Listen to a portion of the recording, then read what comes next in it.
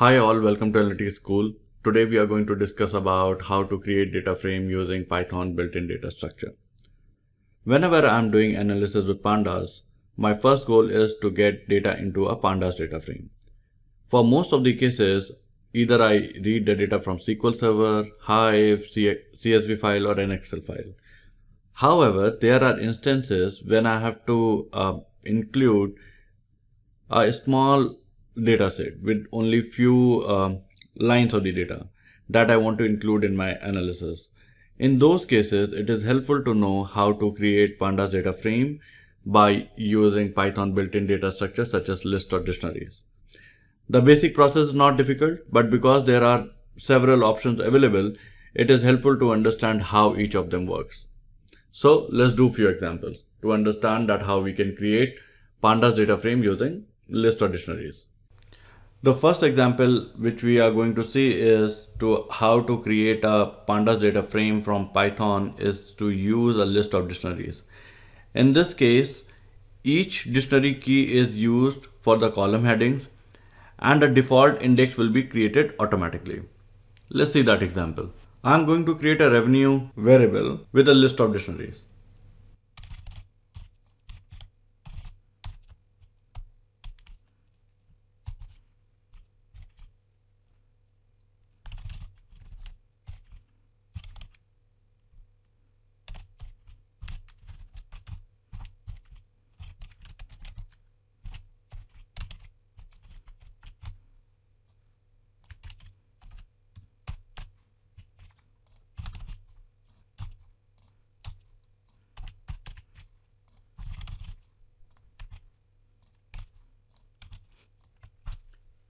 As you can see here, we have created a list called revenue and it and we have passed multiple dictionaries. Now each dictionary is a record where the key, for example, company, Jan, February and March, they are going to be the column names. Whereas Apple 20, 30 and 40 are going to be the values for those columns. Now let us create a data frame by using the variable revenue, which is actually a list of dictionaries.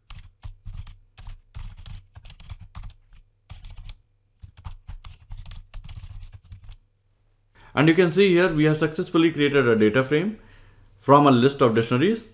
And you can see here the keys of a dictionary has become a column name and the values associated with that particular key has become the values of a column. Now, the next example which we are going to do is we are going to pass a dictionary. And in that particular dictionary, we are going to have a key and then there will be a list of values associated with that particular key. Where that particular key will become a column when we will create a data frame and the list of values will become the associated value of that particular column. Let's do an example to get more clarity.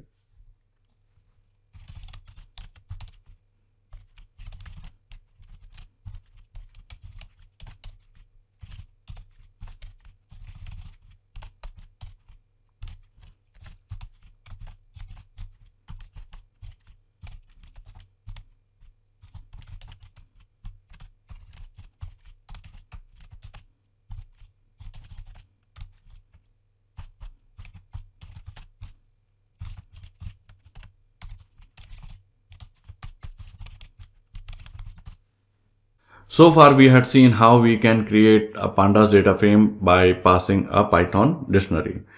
Now we are going to create a pandas data frame from Python is to include the data in a list structure format. Let's do an example.